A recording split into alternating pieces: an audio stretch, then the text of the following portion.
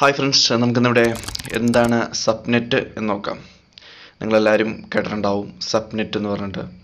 Two double five two double five two double five zero എന്നൊക്കെ പറഞ്ഞാൽ നമ്മൾ I P set ചെയ്യുമ്പോൾ ഈ സബ്നെറ്റ് കണ്ടിട്ടുണ്ടാവും. ഇതുപോലെ സബ്നെറ്റ് നമ്മൾ കണ്ടിട്ടുണ്ടാവും. അപ്പോൾ എല്ലാവർക്കും ഒരു ഡൗട്ട് ഉണ്ടാവും ഇതെന്താണ് സബ്നെറ്റ് ഏ അതായത് നമ്മൾ സെറ്റ് ചെയ്യുമ്പോൾ സെറ്റ് ചെയ്ത് കൊടുക്കും പക്ഷേ ഇത് എന്താണെന്നുള്ളൊരു ഡൗട്ട് ഉണ്ടാവും. അപ്പോൾ നമുക്കത് എന്താണ് എന്ന് ഇവിടെ ഇപ്പോൾ നമുക്ക് നോക്കാം. അതിന്റെ കൂടുതൽ കാൽക്കുലേഷൻ ബൈനറി കാൽക്കുലേഷൻസിലൊന്നും നമ്മൾ പോകുന്നില്ല. ജസ്റ്റ് എന്താണ് സബ്നെറ്റ് എന്താണ് സബ്നെറ്റ് എന്നുള്ളത് നമുക്കൊന്ന് ചെറുതായിട്ടൊന്നിവിടെ എന്താ നോക്കാം. സബ്നെറ്റ് എന്ന് പറയുമ്പോൾ തന്നെ ആദ്യം തന്നെ സബ് നെറ്റ്വർക്കിംഗ് സബ് നെറ്റ്വർക്കിംഗ് എന്താണെന്ന് അറിഞ്ഞിരിക്കുക. അതായത് സബ് നെറ്റ്വർക്കിംഗ് ആണ് സബ്നെറ്റ് എന്ന് പറയുന്നത്. ഉദാഹരണം ഒരു കമ്പനി ഇതൊരു ഫേമാണെന്ന് വിചാരിക്കാം. ഇതൊരു കമ്പനിയാണെന്ന് വിചാരിക്കാം. ആ കമ്പനിയിൽ ഈ ഒരു ഡിപ്പാർട്ട്മെന്റ് വൈസ് നമുക്ക് തിരിക്കുകയാണെങ്കിൽ മാർക്കറ്റിംഗ് പർച്ചേസിങ് സെയിൽസ് എന്നൊരു മൂന്ന് വിഭാഗമായിട്ട് തിരിക്കാം. ഇത് മൊത്തം ആ കമ്പനിയിലെ എംപ്ലോയീസ് ആണ്. ഇപ്പോൾ ഈ കാണുന്ന ഓരോരുത്തരും ആ കമ്പനിയുടെ ആണ്. അവർക്കെല്ലാം ഓരോ ഐ പി അഡ്രസ്സ് ഉണ്ടാവും. കാരണം ഓരോ കമ്പ്യൂട്ടറിനും നോർമലി നിങ്ങൾക്ക് എല്ലാവർക്കും അറിയാം ഓരോ ഐ പി അഡ്രസ്സും ഉണ്ടാവും. അപ്പോൾ നമ്മൾ ഈ മൂന്ന് ഈ കമ്പനീനെ നമുക്ക് ഈ മൂന്ന് സബ്നെറ്റ് അതായത് സബ്നെറ്റ് വർക്കുകളായിട്ട് തിരിക്കാം.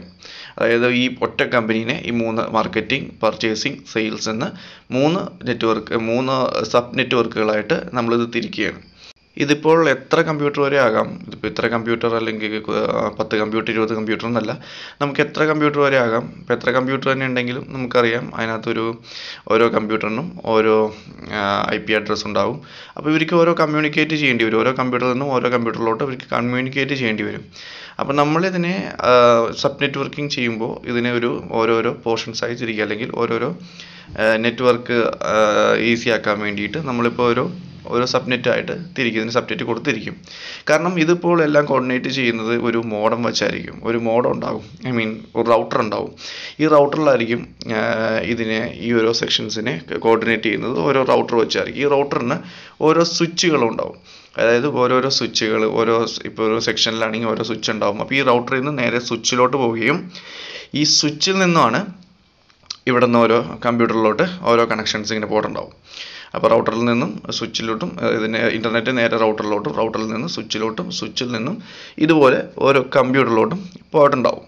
അപ്പോൾ ഈ നമ്മൾ സബ് നെറ്റ്വർക്കിംഗ് ചെയ്യുമ്പോൾ അതായത് സബ്നെറ്റ് ആഡ് ചെയ്യുമ്പോൾ എന്തിനാണ് സബ്നെറ്റ് ആഡ് ചെയ്യുന്നതെന്ന് നമുക്ക് നോക്കാം. അതിന് മുമ്പ് ഇത് ആഡ് ചെയ്യുമ്പോൾ അതായത് സബ് നെറ്റ്വർക്കിംഗ് നമ്മൾ ആഡ് ചെയ്യുമ്പോൾ ഇപ്പോൾ two double five two double five two double five zero എന്ന് ആഡ് ചെയ്യുമ്പോൾ ഇതിന് കിട്ടുന്ന ഒരു പ്രധാന ഗുണം എന്താണെന്ന് വെച്ചിട്ടുണ്ടെങ്കിൽ ഇപ്പോൾ നമ്മൾ ഈ ഒരു മൂന്ന് സെക്ഷന്റെ കാര്യം പറഞ്ഞു. അതിനകത്ത് ഇപ്പോൾ സെയിൽസ് സെക്ഷൻ ഇതിന് എടുക്കുകയാണെങ്കിൽ നമുക്കിതിനകത്ത് ഇന്റർ കണക്ട് കണക്ടിവിറ്റി അല്ലെങ്കിൽ എന്താണ് കമ്പ്യൂട്ടറുകൾ തമ്മിൽ അങ്ങാടും ഇങ്ങാടും കമ്മ്യൂണിക്കേറ്റ് ചെയ്യാൻ പറ്റും. ഇപ്പോൾ ഈ സെയിൽസിന്റെ സെക്ഷനിലുള്ള അല്ലെങ്കിൽ ആ നെറ്റ്വർക്കിങ്ങിലുള്ള കമ്പ്യൂട്ടർക്ക് അങ്ങാടും ഇങ്ങാടും നെറ്റ്വർക്ക് കമ്മ്യൂണിക്കേറ്റ് ചെയ്യാൻ സാധിക്കും.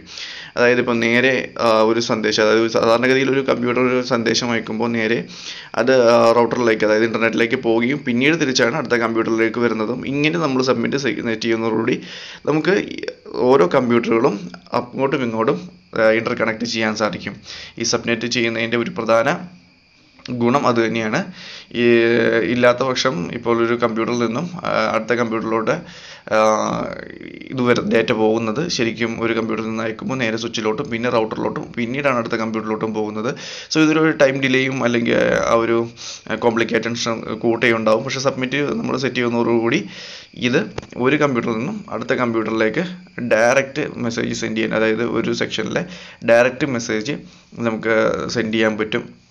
ഓരോ കമ്പ്യൂട്ടറിൽ നിന്നും അടുത്ത കമ്പ്യൂട്ടറിലേക്ക് ഡയറക്റ്റ് കമ്മ്യൂണിക്കേഷൻ കമ്മ്യൂണിക്കേറ്റ് ചെയ്യാൻ സാധിക്കും എന്നുള്ളതാണ് ഈ സബ്നെറ്റ് ചെയ്യുന്നതോടുകൂടിയുള്ള പ്രധാന ഒരു ഗുണം നമുക്ക് ഇവിടെ കിട്ടുന്നത് ഓരോ സെക്ഷനിലും കിട്ടുന്നത്.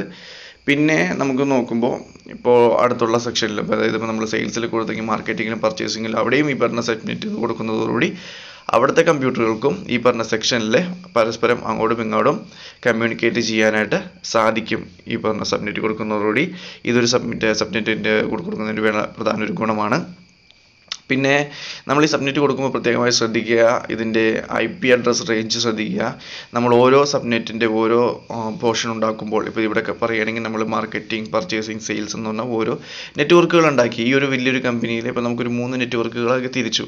അപ്പോൾ തിരിക്കുമ്പോൾ പ്രത്യേകിച്ച് നമ്മൾ ഐ പി സെറ്റ് ചെയ്യുന്ന നേരത്ത് ഈ ഐ പി റേഞ്ച് നോക്കുക. ഇങ്ങനെ ഡിഫറന്റ് ആയിട്ട് തന്നെ കൊടുക്കുക. സി ക്ലാസ് ഐ പി അഡ്രസ്സുകളാണ് നമ്മളിവിടെ കൊടുത്തേക്കുന്നത്. അപ്പോൾ ഇതുപോലെ തന്നെ ഈ ഐ പി റേഞ്ച് കൊടുക്കുമ്പോൾ അത് ശ്രദ്ധിക്കുക.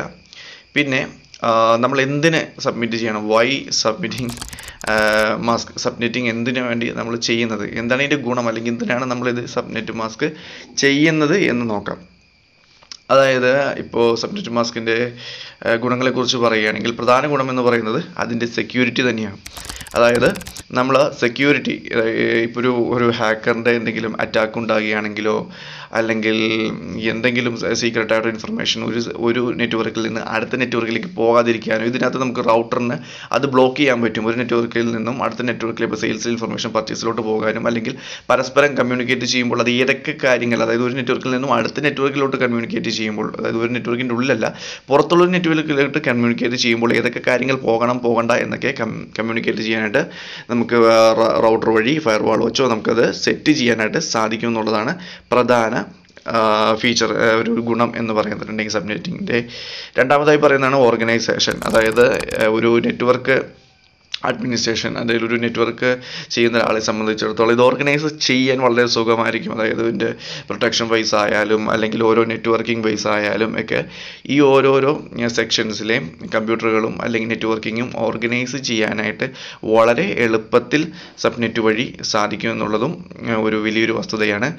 സബ്നെറ്റിങ്ങിന്റെ രണ്ടാമത്തെ മെയിൻ ഗുണം എന്ന് പറയുന്നത് ഓർഗനൈസേഷൻ തന്നെയാണ്. സെക്യൂരിറ്റി കഴിഞ്ഞാൽ അടുത്തതായിട്ട് വരുന്ന മെയിൻ ഗുണം ഓർഗനൈസേഷനാണ് ഇനി മൂന്നാമത്തെ ഗുണം എന്ന് പറഞ്ഞാൽ മൂന്നാമതായിട്ട് പെർഫോമൻസ് അതായത് നമ്മൾ ഈ ഒരു വലിയൊരു നെറ്റ്വർക്കിനെ ഒരു കമ്പനിയുടെ ഇത്രയും വലിയൊരു നെറ്റ്വർക്കിനെ നമ്മളതിനെ ഓരോ പോർഷനാക്കി ഇപ്പോൾ ഈ പറഞ്ഞ പോലെ തന്നെ ഇതിനകത്ത് മൂന്ന് പോർഷൻ ആക്കിയിട്ടുണ്ട്. അപ്പോൾ നമുക്ക് ഇഷ്ടമുള്ള പോലെ എത്ര പോർഷൻ വേണമെങ്കിലും ആക്കാം. ഇങ്ങനെ ഓരോ പോർഷനാക്കി തിരിക്കുന്നതോടുകൂടി നമുക്ക് അതിന്റെ പ്രവർത്തനം വളരെ സുഗമമാക്കാൻ സാധിക്കും. അതായത് അതിന്റെ എന്താ പറയുക അതിന്റെ പെർഫോമൻസ് കൂട്ടാനായിട്ട് നമുക്കവിടെ സാധിക്കും. വളരെ എളുപ്പം തന്നെ ഇതിന്റെ പെർഫോമൻസ് നമുക്ക് കൂട്ടാനായിട്ട് സാധിക്കും. കാരണം വെച്ചിട്ടുണ്ടെങ്കിൽ ഇതിന് അത്രയും കൂടുതൽ സഞ്ചരിക്കേണ്ടതായിട്ട് വരില്ല. ഇപ്പോൾ പറഞ്ഞ പോലെ സ്വിച്ചിൽ കയറി പിന്നീട് റൗട്ടറിൽ കയറിയിട്ടുള്ള അത്രയും ഒരു ഒരു വലിയൊരു ഒരു സർക്കിൾ അവിടെ ഒഴിവാക്കാനായിട്ട് സാധിക്കുകയും അത് അതിന്റെ പരമായിട്ട് പെർഫോമൻസ് വളരെ കൂടുകയും ചെയ്യുന്നു. സോ ഇതൊക്കെയാണ് പ്രധാനമായിട്ടും ഒരു സബ്നെറ്റ് എന്ന് പറയുന്നത്. സബ്നെറ്റിംഗ് എന്തിനാണ് ഉപയോഗിക്കുന്നതെന്ന് ഞാൻ പറഞ്ഞു. സബ്നെറ്റ് എന്ന് പറയുന്നത് ഒരു ചെറിയൊരു രൂപരേഖയാണ് ഇപ്പോൾ ഞാൻ പറഞ്ഞത്. ഇതിന്റെ കൂടുതൽ കാൽക്കുലേഷൻ എല്ലാം നമുക്ക് അടുത്ത വീഡിയോയിൽ നോക്കാം. ഇതെങ്ങനെ കൊടുക്കുന്നതെന്നും മറ്റുള്ള ഐ പി റേഞ്ചും ബാക്കി കാര്യങ്ങൾ ഐ പി ക്ലാസ്സുകളെ കുറിച്ചൊക്കെ നമുക്ക് അടുത്ത ക്ലാസ്സസ് ഓഫ് ഐ പി അഡ്രസ്സിനെ കുറിച്ചൊക്കെ നമുക്ക് വീണ്ടും വേറെ അടുത്ത വീഡിയോയിൽ കാണാം. സോ ഇതാണ് സബ്നെറ്റിംഗ് എന്ന് പറയുന്നത് അല്ലെങ്കിൽ സബ്നെറ്റ് മാസ്ക് കൊണ്ട് ഉപയോഗിക്കുന്നതിന്റെ ഗുണങ്ങൾ അല്ലെങ്കിൽ ഇത് ഇതിനാണ് ഉപയോഗിക്കുന്നത്. ഇത് ഇത്രയും നിങ്ങൾ മനസ്സിലാക്കുക സബ്നെറ്റ് വർക്കിങ്ങിനെ കുറിച്ച്. മനസ്സിലായി എന്ന് വിചാരിക്കുന്നു. Thank you thank you so much